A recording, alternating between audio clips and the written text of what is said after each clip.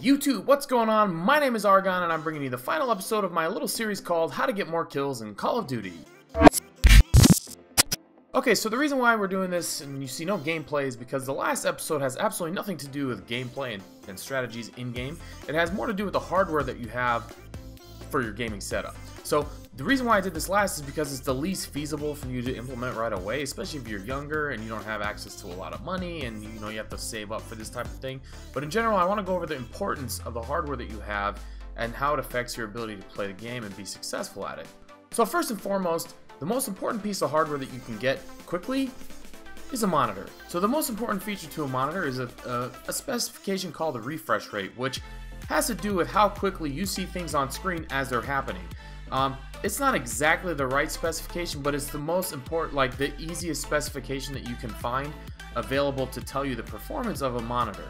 So realistically what you want to be concerned with is a thing called input lag, which basically means when I input something on my controller, how quickly that is seen on screen. You just don't see input lag really um, displayed as a spec when you're looking for monitors. You see response rate, or re, uh, yeah, response rate, um, and that's generally in the if it's actually displayed, it'll be 5 to 7 milliseconds or lower. So 1 to 7 milliseconds. Don't confuse this with refresh rate, which is totally different thing. Look at, at response rate. This is a not exactly a one-to-one -one measure of input uh, to input lag, but it's a good uh, characteristic. You want to be at 5 milliseconds or less of a, of a uh, response rate. Now, if you're playing on a TV and you look at response rates for televisions, even when you put them in game mode or whatever modes that they say make them better for gaming, you're going to be in the 30 to 50 millisecond uh, response rate. But a monitor is going to be less than 10, and when they actually actually advertise that response rate, it's 5 milliseconds or less. That's a huge, huge impact. If you guys play on a TV, switch to a monitor, you'll instantly notice a difference, I promise. The next thing I want to go over with you, if you don't have one yet, is a headset. Now, if you don't have a headset, you're missing out, because having those earphones on, and you can hear the sound real close in your ear, you're hearing so much more detail that you're not hearing otherwise if you're just playing off of television speakers or computer speakers. So if you're hearing, it, just takes sound whoring to a whole new level. Trust me, just even plug in earbuds and you'll hear a big difference. Just having that sound quality. And the ones I have on screen here are the Astro A40 TRs. These are the ones I use. They have a mix amp which allows you to use surround sound, which will totally change the game for you. But definitely look into headset if you don't have one. What you're seeing on the screen now, guys, is a SCUF controller. Everybody knows what a SCUF controller is. They've got the paddles on the back so that you don't have to move your thumb off the thumbstick so that you can jump and all sorts of stuff without actually having to change your aim. This will drastically help your gameplay as well because being able to aim while you're jumping and sliding and crouching, um, it will actually improve your ability to stay on target. Now I know that in the more recent Call of Duties, they've offered a stick and move or other type of layouts that you can use to counter having a SCUF, which is good. So try that if you haven't yet, but definitely 100% make sure you're using that option because you never want to be taking your thumbstick, your thumb off the thumbstick to do these advanced maneuvers that we've talked about in other videos. So definitely if you can get a SCUF, get a SCUF. Um, the reasons why there's pros to the SCUF because they have that grip which you see on screen which just helps you hold the control a little better and they have trigger stops so when you're pulling on the right trigger it actually stops you without having to waste movement and still actually fire. That's a, pro, a plus. I know they're big investments. If you don't have the money for it, just stick with stick and move and you'll be alright. The final thing you guys are seeing on screen is it's a uh, screen test, screen grab of my speed test. Um, I have really fast internet, guys. You see my ping, it's very, very low. Um, the reason for this is we play an online game.